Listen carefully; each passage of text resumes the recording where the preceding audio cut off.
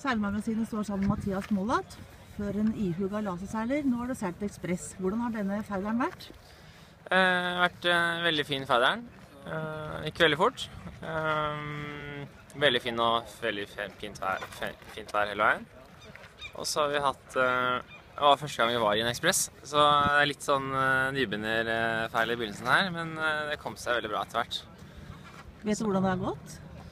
Jeg er litt usikker. Vi er nok eh, rundt 15 eller noe sånt nå, tror jeg.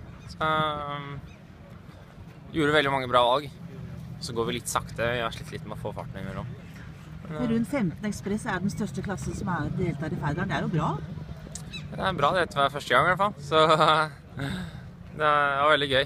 Ekspress var morsomt å seile. altså. Det er veldig morsomt når alle båtene går like fort. Og um, de blir veldig, det blir veldig kompetitivt, da. Det er jeg veldig glad i. Frister dere til gjentakelse?